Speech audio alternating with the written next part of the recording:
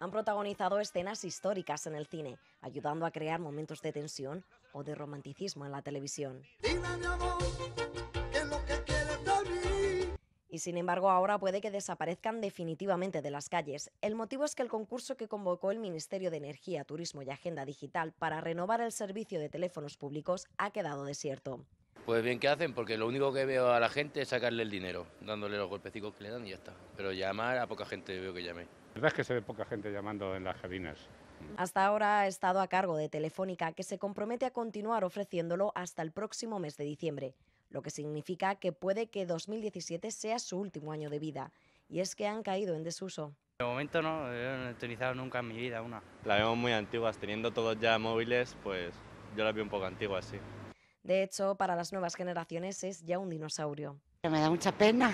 Pienso que si un día lo necesitas, lo tienen, no, no suprimir todas, dejar algunas de urgencia. Aún así, hay quien las echaría de menos. Y es que nunca se sabe cuándo pueden servir para salvarnos de un apuro. Se me agotó el saldo y tuve que usarla. Pero vamos, una emergencia.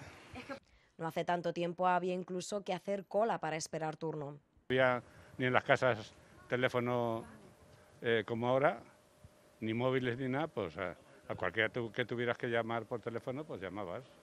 Todo el mundo las utilizaba, aunque no fuera siempre para llamar. Hace ya años y las utilizaba para sacarle las monedas cuando era chiquillo, o sea que...